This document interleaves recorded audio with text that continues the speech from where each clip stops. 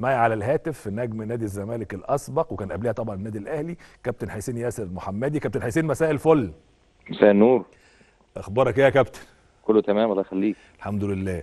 آه عايز الأول يعني أهنيك طبعا كزملكاوي وكعنصر كنت موجود في الجهاز الفني في وقت سابق في هذا الفريق على الفوز بتاع النهارده. هو الفوز الرابع على التوالي للجهاز الفني الحالي بقيادة الكابتن معتمد جمال. شايف الفوز ده إزاي؟ وشايف إمكانيات الزمالك في الكونفدرالية إزاي بعد ما قدر إنه يحقق ست نقاط في أول مباراتين في دوري المجموعات؟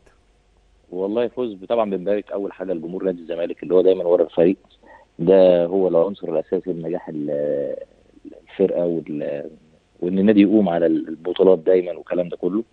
فالناس دايما بتسعى إن هي تكون ورا الفريق بتاعها في ظل الظروف اللي هو بيمر بيها دايما.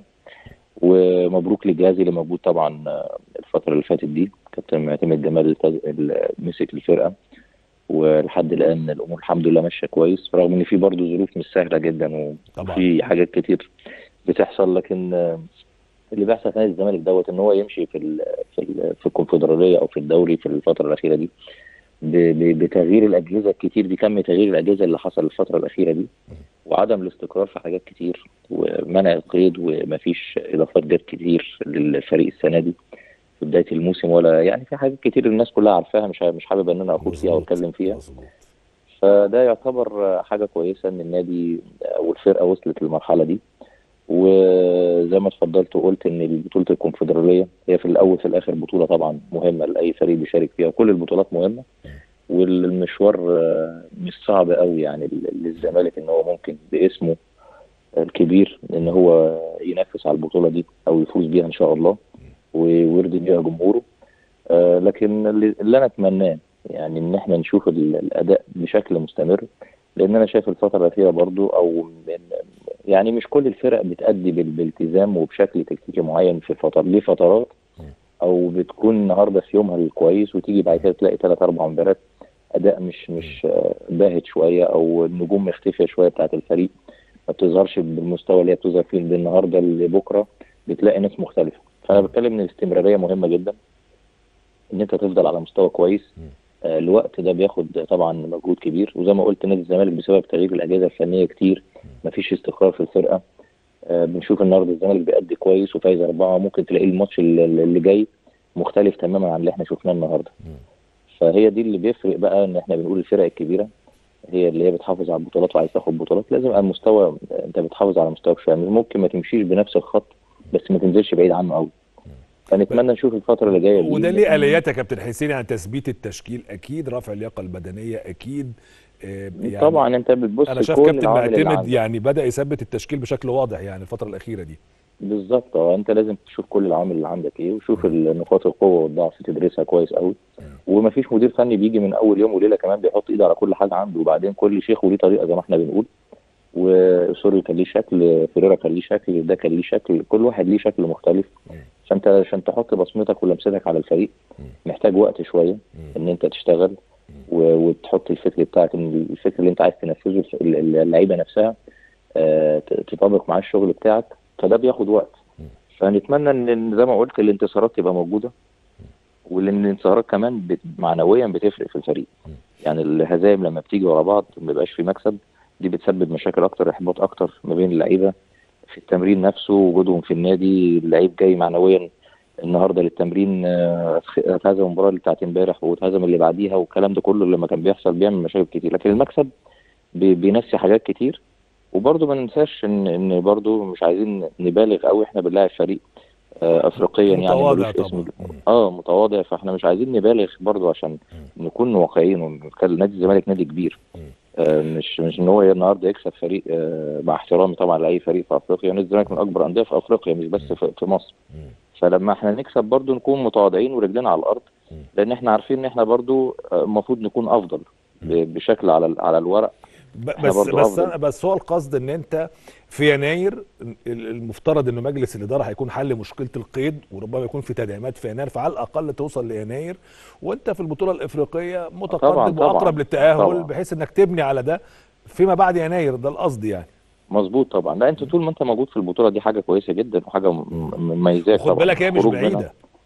لا طبعا زي ما قلت واتفضلت يا كابتن إن المنافسين معاك يعني فيوتشر و بتتكلم في فيوتشر وبتتكلم في نهضة بركان آه، والإفريقي التونسي. واتحاد العاصمه آه. تقريبا دول الأربع خمس فرق أو الثلاث أربع فرق اللي مع آه. الزمالك لأنه السنة دي كمان الكونفدرالية أول مرة اللي بيخسر من دور ال 16 في دوري الأبطال كان بينزل يلعب في الكونفدرالية لكن نتيجة ضيق الوقت الاتحاد الإفريقي لغى ال- الدور ده لو تفتكر آه، مظبوط. السنة دي فالفرق في المتناول معظمها يعني بالظبط فدي ميزة. المفترض الزمالك يستغلها يعني هي دي ميزة مهمة جدا لكن هو الزمالك لو في أفضل حالاته والزمالك قدر يوصل للفورمة كويسة يقدر إن هو ينافس على البطولة. لكن إحنا زي ما بتكلم المشكلة كلها إن أنت هل في استمرارية للمستوى اللي أنت بتشوفه دلوقتي والمكسب والمست... وال... وال... ال- والمعنويات اللي موجودة دلوقتي هل هي بتستمر؟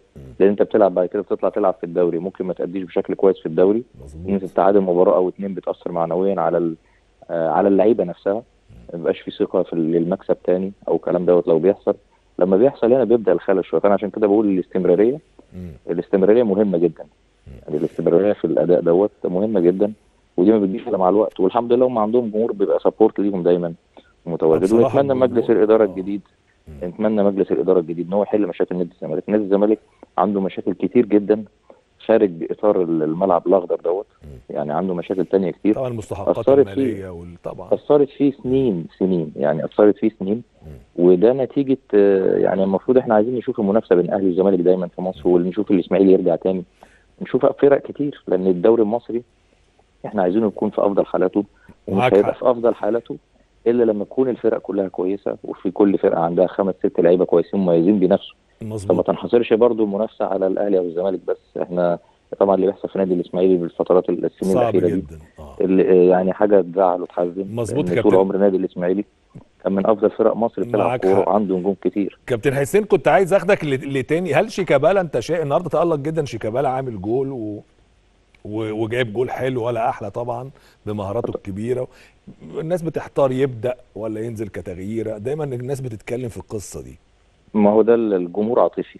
لما نكسب النهارده والله شيكابالا من أفضل لعيبة مصر ودي ما فيهاش جدال أنا كحسين ياسر محمد اللي لعبنا مع بعض شيكابالا من أفضل اللاعبين المهاريين اللي جم في تاريخ الكرة المصرية. دي بدون بدون جدال. آه والكلام ده كله. السن ملوش دور في في لعيب كرة. هو هو انت عايز إيه؟ انت حابب تكمل ولا ما تكملش؟ دي بتيجي من اللاعب نفسه. والراجل عايز يلعب ويكمل. لكن لما بنيجي نخسر مباراة وشيكابالا موجود في الملعب بتبدأ الناس تقول لك والله الراجل كبر المفروض ما يلعبش. أصل الراجل ما يبدأش. اصل أصل لما نكسب الناس بتقول فهو الجمهور عاطفي. الجمهور بيبقى مبسوط. نكسب بيبقى دايما كل الناس كويسة. اول ما تخسر تلاقي الناس بتتكلم عن السلبيات اللي موجودة في الفريق إن الراجل ما يبدأش ولا كذا أو ما يلعبش أو بس خلاص أنت ليك تقييم لشيكابالا إنه لازم يكمل على الأقل موسم كمان. طبعا. لا بالظبط. شيكابالا قادر إن هو يلعب آه، لغاية دلوقتي. وعبد الشافي زي ما إحنا بنشوف ما شاء الله من أفضل اللعيبة اللي في الملعب وأنا مبهر كنت عبد موجود فيه. الشافي بطل السنة اللي فاتت فيعني كل. الناس آه كل الناس بتتكلم. فهي زي ما قلت لك يا كابتن ال ال آه، في ناس معينة عندها عندها الروح والعزيمه والإصرار ومش عايزين نظلم الناس. ما هو أنت لما بيبقى موجود في وسط فرقة كويسة بتساعدك. ما هو شيكابالا لعب مع كذا جيل. شفنا شيكابالا في أفضل حالاته مع أنهي أجيال وشفنا شيكابالا شوية مش مش مش ظاهر بالشكل لكن كموهبة ما حدش هيختلف على شيكابالا. لكن طبعا دور المدرب هنا دور المدرب إن هو يعرف إن شيكابالا آه، آه، في في في ظل ال- الوقت الحالي للزمالك أو إن هو يخدم الفريق بأفضل شكل هل هو يبدأ؟ هل هو ينزل؟ هو دي بقى تبقى راجعة آه، برضو المدرب ليه نظرة وليه فكره طب كابتن حسين هو يحافظ دايما على الشكل والجوهرة دي. تمام. هسألك فنيا هل ده الشكل المثالي لنص ملعب الزمالك وفق ال- العناصر المتاحة؟ إن يبقى دونجا وجنبيه روقا ومعاهم يوسف أوباما قدامهم؟ والله دوت أنا شايفه أنت ما في ظل إضافات المجموعة اللي كتير. موجودة يعني. بالظبط. انت ما جالكش اضافات كتير. ودول أكتر ناس لعبوا. يعني روقا من اللعيبه المميزين أنا كنت الفترة اللي موجود فيها بدرب في الزمالك كان حتى الناس في بعض الأحيان بت- بتختلف على وبعد كده جيس وسوريو قال لك الفرقة بدأت تظهر بشكل أفضل وبدأ يغير في العناصر اللي موجودة في نص الملعب وده يجي هنا وده يروح هنا. فأنا شايف تثبيت التشكيل دوت يعني ثلاثة دول في نص الملعب هم الأفضل الموجودين حاليا في ال- في الزمالك إن هم يستمروا. وكتر ما لعبوا مع بعض أكتر يعني هم فاهمين بعض أكتر طبعا. واوباما يعتبر إضافة برضه لما رجع من السعودية إضافة للفرقة طبعا. آه، في الحتة دي. طبعا. فأنا شايف إن هم الثلاثه في في المنطقة دي طبعا آه، زي ما قلت لك إحنا ما جبناش يعني ما فيش منافسة كبيرة في الفرقة. انت تتكلم ان والله انت عندك صفقات طبعا حلول لأن كتير. موقوف طبعا ف- آه ما عندكش. حلول كتير ان يبقى عندك منافسة في في المراكز دي كلها. مظبوط. والمفروض اللي يلعب هو يعني يمسك في الفرصة لأن ما فيش إحنا زمان الكورة كانت مختلفة عن حاليا يعني الد- الدنيا اتغيرت خالص. وحتى مع رحيل إمام عاشور من نص الملعب يعني الناس موجودة بتلعب في النادي سواء رؤى أو دونجا أو أو أوباما دلوقتي. ما فيش منافسات كتير يعني منافسات مش موجودة. فمن كتر اللعب برضو المفروض إن أنا هيبقى عندي آه، تطور أكتر وتشبع أكتر بإن أنا أفهم شكل الفرقة و- و- وطبعا بشكرك كابتن حسين ياسر محمدي بشكرك شكرا جزيلا على هذه المداخلة.